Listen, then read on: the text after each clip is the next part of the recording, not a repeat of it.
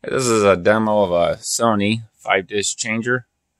This model is called CDP-C505 and it's an early 90s model.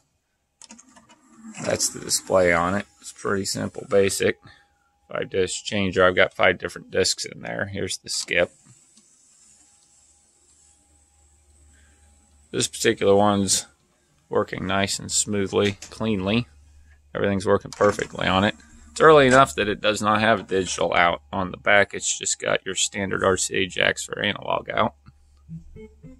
Now it's playing disc one, which looks like Wes Montgomery is what I've got in there. This one has the variable headphone level. And you can see the receiver here.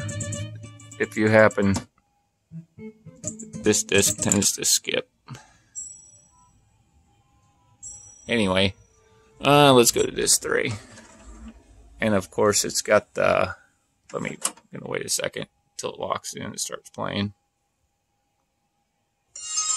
There's disc three. It's got the shuffle disc, all disc shuffle, one disc shuffle, and all that stuff's all working perfectly. It says right here, automatic disc loading system. Pretty much it. Nice, simple, basic five disc changer with nice, simple controls on this one. Pretty straightforward.